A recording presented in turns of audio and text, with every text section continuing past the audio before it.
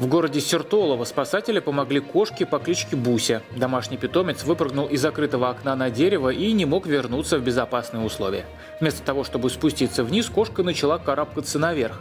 Ее хозяева всю ночь простояли у дерева, пытаясь успокоить животное. Однако от страха питомец оказался на тонких ветках на самой макушке ствола. Хозяева животного обратились в местную пожарную часть. Сертоловские спасатели с помощью автолестницы сняли испуганное животное с дерева и передали хозяйке. Всего Буся просидела там около 12 часов.